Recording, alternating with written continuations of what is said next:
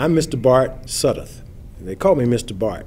I'm associated with the 100 Scholars Robotic Alliance. That's the Project Success Program, the 100 Black Men of Atlanta. Several years ago, uh, I was doing some lessons with a group of students, telling them what their future would be. Reading Rockets and Robots was the title of the lessons. That lesson occurred in August, and little did I know that in February, someone would come to us and say, Would your kids be able to build this robot? There's an organization called FIRST that has robotic competitions. So the future came true. We were introduced by Dr. Lonnie Johnson of uh, Johnson Research and Development. We were given an opportunity to come to the Georgia Dome as a student journalism team to see what this thing first was. And we came over with three young men who had the assignment of doing interviews and meeting students from other places in the United States. Little did we know they would meet students from all over the world. And as we walked away, I asked the students, uh, Do you think we could do this? And one young man said, Sure, Mr. Bart, we can do it. We can get a team. And uh, so that young man and I, the next year, started a First VEX team. And several years later, he was a senior. We ended up winning uh, the Rookie All Star Award uh, at the Peachtree Regional and here at the Georgia Dome. So that young man, his vision of who we were, and the opportunity from Dr. Lonnie Johnson opened this beautiful door called First for me. I consider myself an extremely blessed individual in the sense that I've been mentored by so many men, my dad, my uncles. All through my life, there have been men, majority of people are men, have to think back and realize there were females also. Uh, the reality is, it doesn't take much to be a mentor. And I've had so many mentors. Uh, I can start naming people and I'd get upset with, or somebody's going to get upset with me for not naming them. But as far as this program is concerned, um, first, Lonnie Johnson, uh, Ray Singer, uh, Ed Barker, just go on and on with people who took some time not to tell me about how it was for them, but to work with me on some of my objectives. Mentor, that word has different meanings to different people. And I've just realized that it's not about people telling me or coming to me and spending time with me telling me about how it was when they were young or how they did it. It's working with me to see what I'm doing engaging me, finding out who I am, and then helping me do something. And that's a place where I think FIRST has transformed my concept of mentoring. FIRST allows people an opportunity to work with young people on projects that the young people are interested in. And it'll engage old people also. But the number of mentors I've had is, I can't count the number of mentors. And that's one of the big reasons I'm so serious about the idea that we've got to continue getting more and more men involved. I use that term men to mean all of us involved in mentoring. I think back to my father, my uncles, and constantly taking us to doors that they hadn't gone through and asking us, Are you interested in going through that door? Are you interested in trying this? What do you think about this? And once they found out we were interested in something, walking alongside of us. So my dad and my mother's brother-in-laws, uncles, people that were just ordinary guys. Uh, I grew up in a community in North Carolina where uh, everyone was a mentor. If you went down the street, Mr. Bob was going to tell you, comb your hair. If you went to the next corner, Mr. Boss was going to ask you about how are your grades? Read this for me. People who would ask you what you're doing, take some time with you, show an interest in what I was doing, and then encourage me or guide me. Any of the skill sets that they possessed that went along with what I was doing, they were always willing to provide something for me. So again, the mentors are have been numerous, and, and, and, and at this point, they're constant. Seems like we're in a, a mentor-to-mentor relationship. I work along with the men of the 100 Black Men Chapter Atlanta, and they have been gracious to allow a guy named Mr. Bart to work with their children. Now, from that, we've been able to get more of those men who, when you ask them about robotics, oh, I don't know anything about robotics. But if you ask them if they were, would be able to, to just help a young person with a little challenge, uh, what, what is the challenge? Immediately they ask the question, what is the challenge?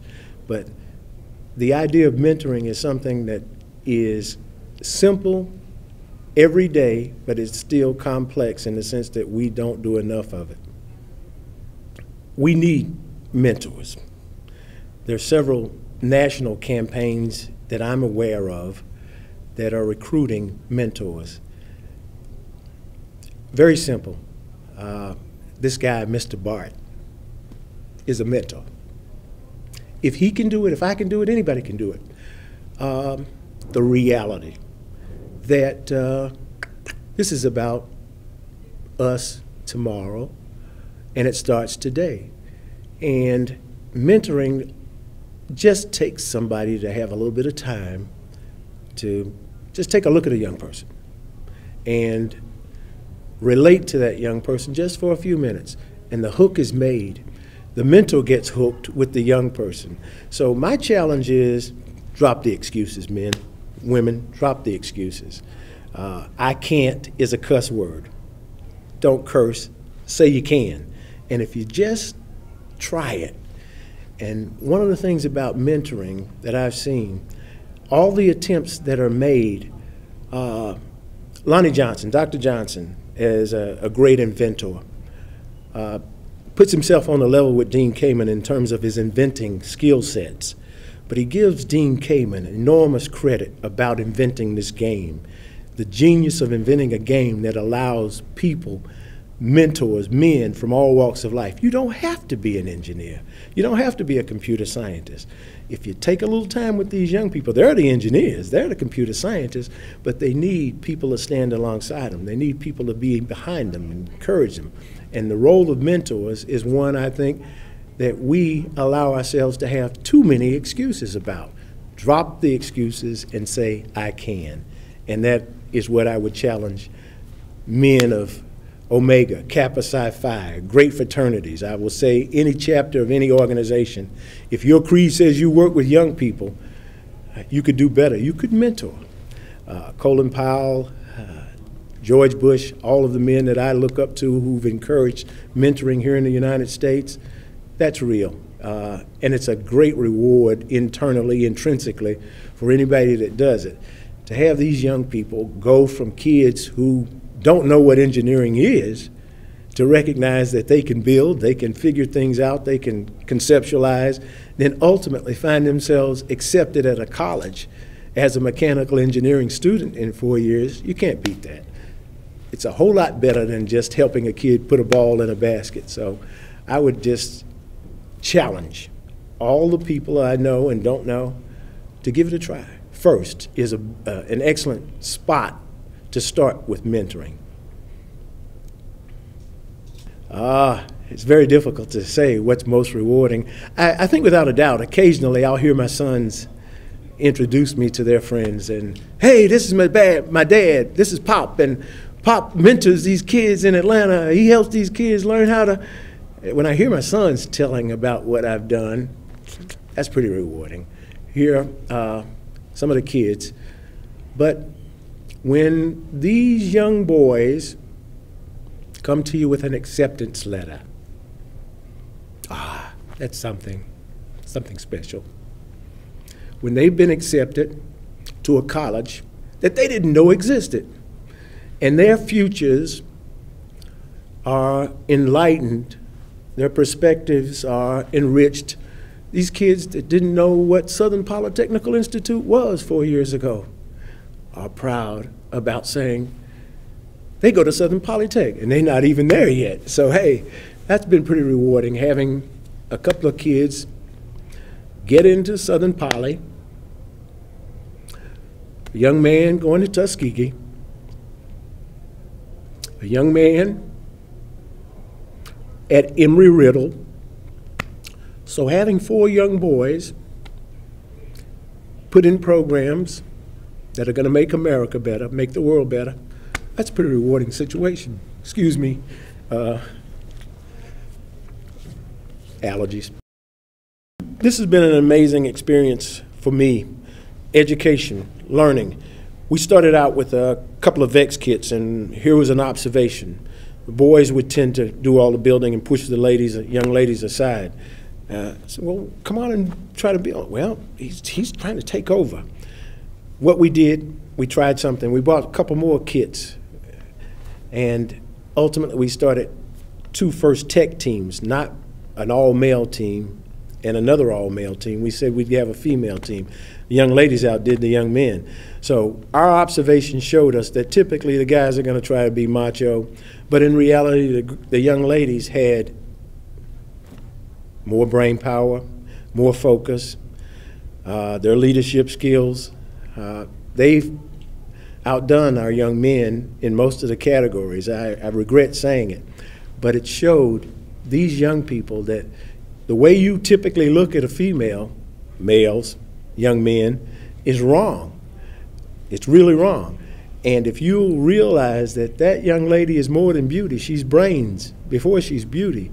She has abilities that you don't realize that her abilities can help you as as opposed to just take you off on this fantasy fantasy idea about who a woman is. And our young ladies who have worked with us have done exceptionally well. They've been accepted into uh, medical programs, uh, legal programs. Uh, we've got one that uh, who's enrolled in a, a pre-med program, and she started building robots. She got an opportunity to work with a cardiologist and uh, one of the Da Vinci robots uh,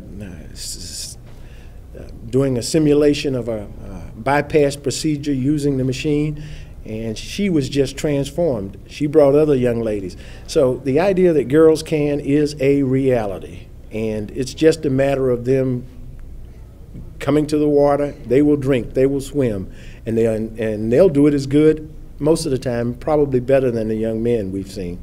So it's just about giving them the opportunity. And I'm very fortunate in the sense that our leadership has allowed me to, to develop two all-female teams, and one in our Lego and one in our first tech project.